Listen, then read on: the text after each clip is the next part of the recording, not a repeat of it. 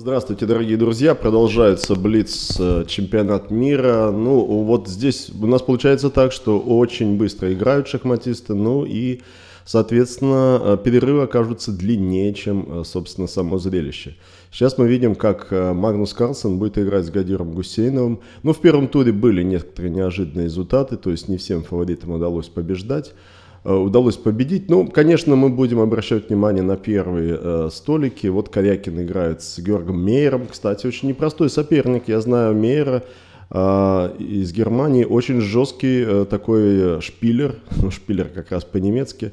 Но применяют это, этот термин и, и применительно к другим людям. Ну, жесткий, практичный игрок, быстрый. Но вот Ян Непомнящий, видите, на дальнем плане. Я надеюсь, что он тоже поборется. А это Максим Вашьелаграф, играет с Чедлишвили, насколько я понимаю, грузинский гроссмейстер. Вот, так что э, я надеюсь, что нам на первых столиках будет на кого посмотреть, но вовсе не факт, что Карлсон с Корякиным будут все время их оккупировать. Достаточно один раз оступиться, проиграть, и все, до свидания. Так, пока не стартовал этот э, тур, я зачитаю результаты первого. Накамура выиграл у Голощапова, Ипатов проиграл Корякину, Аронян Поткин ничья, видите, уже потери. Карлсон одолел Федосеева, Ваш Елаграф выиграл у Джабава, Криворучка, как вы знаете, победила Заму замучил Ананда. Мамедьяров выиграл у Валеха. Так, Лек Ван Клем выиграл, непомнящий. Грищук, кстати, сыграл в ничью. Вот это интересно, так что не так все просто. Свидлер победил. Ну, в общем, в основном, конечно, сильнейшие люди побеждают. Морозевич тоже выиграл. Так что ждем этих всех людей наверху. К сожалению, Дубов проиграл Ан- Давиду Антону Испанцу, вот этому замечательному. Ну, Даня, надо взбодриться и, э, в общем, тоже подключиться к борьбе. Но для этого надо выиграть хотя бы одну партию подряд. Вот Женя Томашевский тоже выиграл. Так что в основном россияне выигрывают, как я вижу, но все еще впереди. А это Накамура. Накамура на первом столике сражается против Ван Хау. Кстати, элитный боец напротив. Ну, во всяком случае, в классических шахматах. Так, ну поехали. С- снова смотрим э, на Камуру. Ну ладно, давайте смотрим на Камуру. Я предпочел бы, конечно, как-то варьировать первые столики, чтобы не только одного э, на Камуру смотреть. Ну хорошо, староиндийская защита, нормально. H3, H3, E5, D5. То есть такой закрытый, закрытый вариант. И теперь слон встает на E3, не опасаясь прыжка коня на G4. О как, видите, белые активно э, прессингуют черных на королевском фланге. Теперь провести все F7 F5 будет непросто. H4 сразу жестко в кость. Правильно, пешечку на h5 э, поставим, уже ладья с h1 будет работать. Призадумался Хикару, призадумаешься тут. Ну, конь dc5 напрашивается, чтобы на пешку g4 напасть. Давай, конь dc5. Вот, а потом уже пешку f э, куда-то можно будет э, пулять. Хотя, да, конь dc5, g5, наверное, сыграет, да? Конь d2, ну теперь f5-то точно надо пулять. Вперед, вперед из песни. А можно конь b4 напрыгнуть, чтобы шах на d3 выписать белому. Ага, вот, вот он, вот он прыж... конями-то прыгает, пугает. Ферзь b1 приходится играть. Да, вот здесь, видите, начинаются проблемы. Ну, правда, проблемы относительные, я думаю. А, там ферзь b1 на, на g4 пешка висит. Ага, вот тут китайский товарищ-то и, видать, что-то у него не срастается. Ну, конь b3 тогда надо сыграть. Конь b3, вот сейчас, чтобы ферзь d1 контролировал поле d3, ну, разменять. Ну, это неправильный ход, это не страндийский ход. Конь b3 надо было играть, конечно же. А3. Ну, вот, э, зато у, у этого продолжения есть тот плюс, что черный конь оказывается вне игры, слон d3. Ну, на самом деле, это жесткая игра на удержание. Теперь f7, f5 играть там не очень хорошо для черных. После разменов на f5 белый конь на e4 станет. Ну, может быть, я зря действительно поругал э, Ванюшку. Э, китайского ванюшку. Может, размен на c5 не так плохо. Во всяком случае, здесь вот э, активность черных сейчас приостановлена довольно серьезно. И как, например, коня с а6 переправлять на d6 э, с, с точки зрения коневой геометрии, это непростая задача. Ну, я знаю, конечно, решение. Сыграть c6, конь c7, конь e8, ферзь f6. Ну, вот у Хикару и другая идея. Он ферзя на f4 хочет задвинуть. И, между прочим, это опасно для пешки g4. Вот сейчас вернуть бы пешку с h4 на h3. А нет, нельзя, не получится. Ну вот, кстати, не факт, что слон на d3 правильно ставит. Может быть, ему на e2 надо было ставить. Ну, я так понимаю, ага, ферзь e7. Ну, теперь появилась зацепка, черные где-то f6 могут сыграть, если что. Ну вот слон e2, слон g4, лучше бы так, наверное, слона-то двигать. Но уже сделанного не вернешь. Ну что, f6, мне кажется, надо, надо воевать. Ну, кстати, белые где-то сейчас в 3 нуля могут уйти, чтобы потом на королевском фланге уже драться с, с открытым забралом. А можно коня все-таки с А6 попробовать куда-то вывести? Хотя, не знаю, вот если дождаться длинной рокировки белых, то этот конь и на b4 может прыгнуть. Но в любом случае как-то вза э, взаимодействие фигур пока у ученых не, не самое э, удачное. Ну, можно слон d7 пока подготовительный ход сделать и отложить на будущее этот э, подрыв f6. В общем, позиция нестандартная, необычная. У коня не видно э, заманчивых путей. Конь b8, конь d7, а дальше там он слону будет мешать. То есть у каждой стороны, но все-таки f6 сыграл, ферзь g3, ага, вот и c6. То есть создает напряжение э, на доске, на Камура, ну это, это, это его хлеб, это его главная задача. Правда, я не уверен, что он хочет э, меняться на d5, в этом случае белые легкие фигуры получат новые возможности. Пешка на c6 встает именно, чтобы там стоять, и стоять может быть долго. Ну, я бы, я бы, конечно, 3 нуля сделал ход за белых, чтобы уж потом ладьи, э, ладьи могли работать по полной программе. Где-то можно, кстати, будет h4, h5 сыграть, попробовать все вскрыть. Ну, слон Е2, э, если слон Е2, тогда пешка на F5 от, отправится. Кстати, а может быть черным действительно пешку на F5 э, отправить? Правда, дальнейший, дальнейший план тоже скрывается скрывается в мраке неизвестности. Но вот, судя по всему, Накамура коня через Е8 на d6 ведет. Вот у меня такое ощущение, что он стремится как-то объединить усилия фигур. Ну, понял, что коню на 6, в общем, по большому счету делать нечего. Да, 3 нуля. Ну, вот правильно, сейчас так, b5 не пойдет у нас. Ну, белые, я думаю, э, уверенно скушают все эти пешки. Хотя надо посмотреть, там есть, есть тоже, тоже кое-какие мысли. Ну, может быть, пешку на f5 сначала поставить, f6, f5, чтобы слон g7 работал, если что. Нет. Продолжает Накамура свой план, коня на d6 переводит, ну, с позиционной точки зрения грамотно. Ну, вот теперь h5-то надо изучать. h5 и туда вот э, проехаться. Ну, король b1 можно предварительно, конечно, сделать ход профилактический, чтобы по большой черной диагонали не было никаких неприятностей.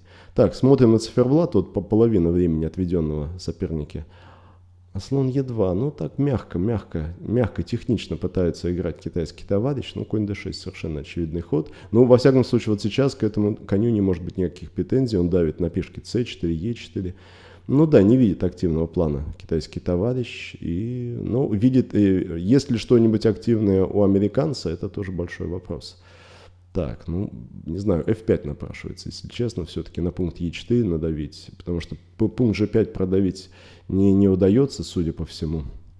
Э, альтернатива какая? Разменяться на g5 ладью на f4 задвинуть, по вертикали f подавить. Ну, судя по ходу слон d7, все-таки не оставляет Хи, и Хикару надежды где-то на ферзовом фланге вскрыть линии, где-то b5 все-таки ударить, но тут важно понимать, что белый сразу получит пункт d5 в свое распоряжение. h5. Ну вот началось, но все-таки э, китайский товарищ понял, что дожидаться активности соперника это это может быть неправильно. И вот он начал э, борьбу по белым полям. На взятие на g5 он возьмет, конечно же, на g6 сначала, и потом на g5. А, простите, там h6 есть ход. Вот это интересно.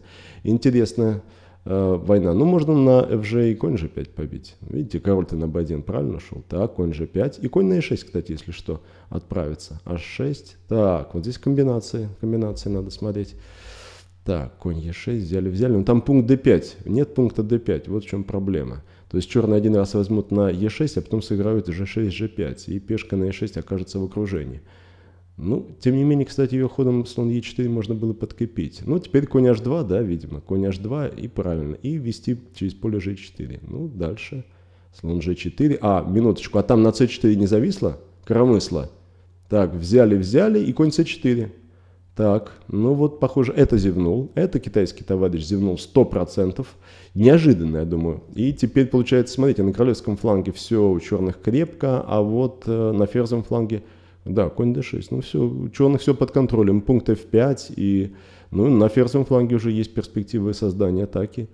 Да, ну вот, судя по всему, сейчас ситуация меняется в пользу черных c4, правильно, да, вот на ферзовом фланге обязательно найдется какая-нибудь какая-нибудь война. Ну, правда, по вертикали d тоже. Вот сейчас, видите, как b5 ты не сыграешь, там на c6 возьмут, и конь на d5 внедряется. То есть с позиционной точки зрения белые стоят крепко. Так, ну да, надо стоять на месте. Конь e3, да, и дать возможность сопернику проявить себя.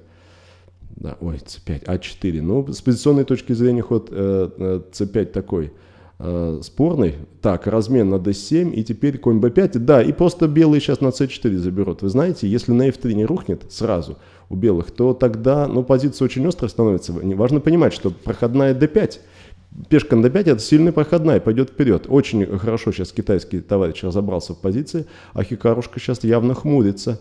Так, ладья f4, взяли на c4, так, g4.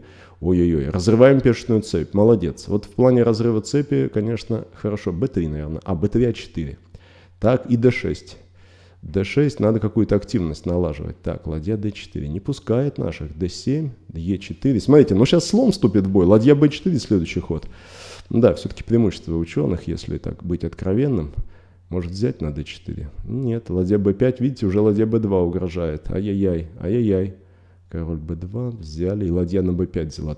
Объел как липку. А, ладья e4, ладья e4, что ж ты делаешь, там же шах на e8 был. Ай-яй-яй, ну немножко упустил хороший момент. Да, ну близок, финиш близок. финиш близок, видимо, черные должны здесь побеждать. Ну вот, а, Накамура молодец, изобретательно действует так. И, и, ну, А4 там, или Б5 даже. Б5 можно сыграть, видимо. Б5. А, ну, а ты тоже ход как ход. Ага. Ну, взяли на С4 и взяли на Ж4. Все завершается просто. На самом деле, а, черные забирают фигуру и при этом защищают а, слона на Ж7. Да, все, остановил часы э, китайский товарищ. Ну, э, обсуждают шахматисты некоторые э, моменты. Давайте переключаемся на другие партии, если кто-то еще борется. Вот там, между прочим, да-да-да, это Магнус, это Магнус. Так, ладейное окончание, видимо, ничейное. Сейчас посмотрим. Шах. Ай-яй-яй. И король, король порвался. Да, но это ничья. Ладья d6. А вот и ничья. Король c5 надо было играть. Тогда все равно ладья c6 шах и ладья d6. Все. Э, проигрывает. Проигрывает э, Гадир Гусейнов, но Магнус молодец, перехитрил соперника. И, в общем, теперь он идет вперед. Два из двух. Так, а что здесь у нас? Здесь черными выиграл э, Лоран Фросине, насколько я понимаю. Да, вот если есть живые партии, оперативно надо переключаться. Здесь сейчас каждая секунда дорога. Вот я вижу, что Саргисян э, вот борется, борется. Ладейное окончание у него похуже. А напротив его это, кажется, э, Давид, Антон Давид, Давид Антон, вот трудно сказать. Да, ну, с практический шанс на выигрыш здесь у черных имеются, но это сделать очень непросто. Да, ну, так, шах-шах. И сейчас король передвигается вот туда, направо. Так, только надо быстренько действовать, бодренько. Ладья d6. Ой, это куда? Это куда? Это куда? Ладьей на d6 надо передвигаться, чтобы король на d5 вышел. Так, f4. Ай-яй-яй. Так, а может быть король Е4. Вот, вот так надо, правильно, за пешку скрываемся. И следующий ход король Е3. Король Е3. Опа, король Е3 мат угрожает. Так, ну правда пешку придется съесть. Оп, d3 угрожает мат. Ну, вот с другой стороны, видимо, все-таки...